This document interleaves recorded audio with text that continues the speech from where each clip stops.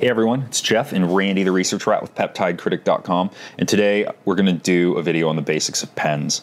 Uh, we've been getting emails with questions we didn't think needed to be answered, but apparently they do.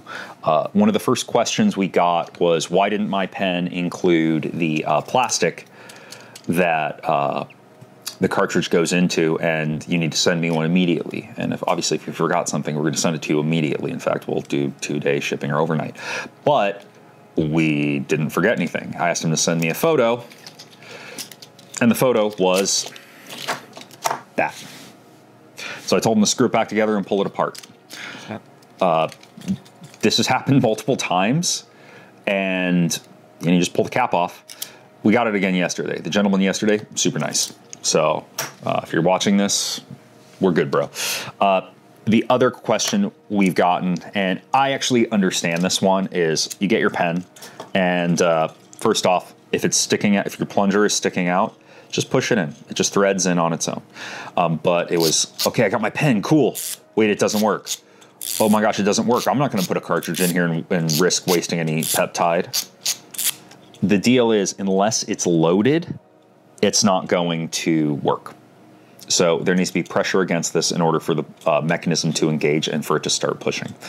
Uh, to load it, again, it's extremely simple. Take your pen apart, you take a cartridge.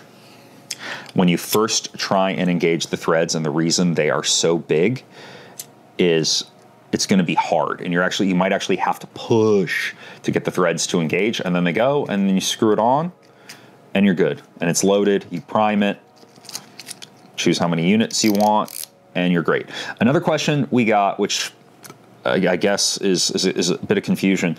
Um, the these this only goes to 60 units, so is 60 units on this the same as uh, 100 units on a syringe? No, no. A, a, unit is a unit. A unit is a uh, unit of measurement, but there's 100 units in a milliliter. So I don't know. That was another one.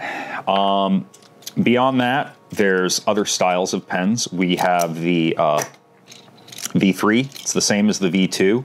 Plastic on the end is a little different. Mechanism is the same, and it has a pen style cap. It's a little bit longer. Some people prefer that, but in essence, if you're like, oh my god, I need the V3, it's better. It's not. It's just a different cap.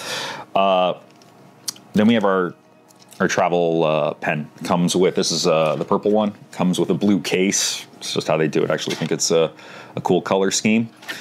Uh, and what's cool is uh, it can hold an extra cartridge if you want but then it'll hold uh, three needles.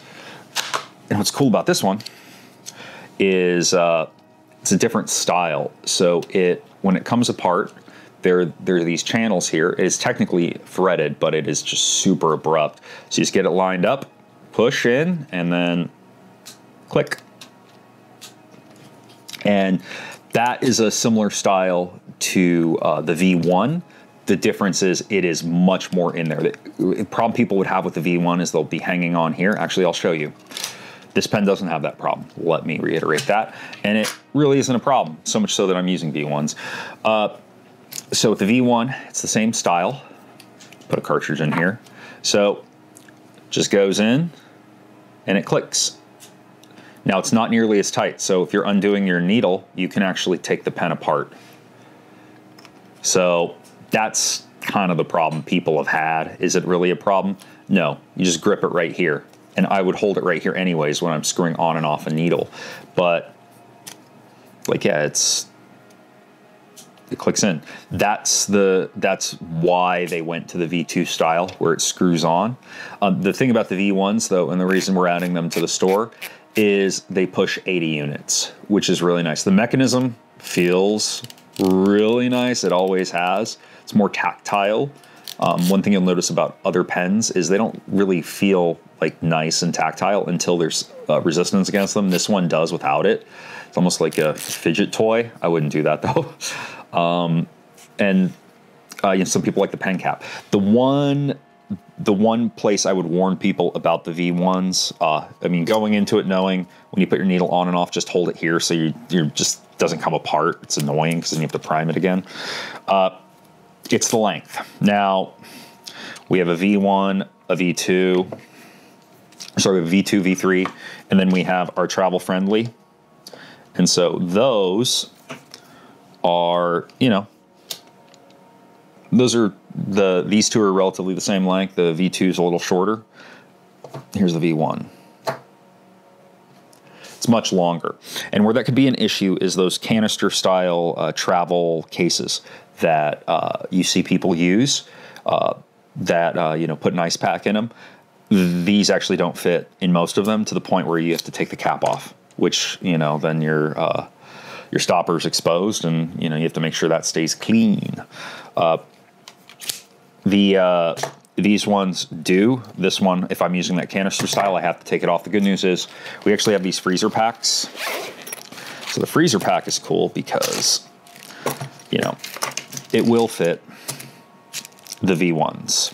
It'll also fit a V2 and then a V3 and a V2, and you're good. And if you really want to get crazy, you can really just shove them all in there and go.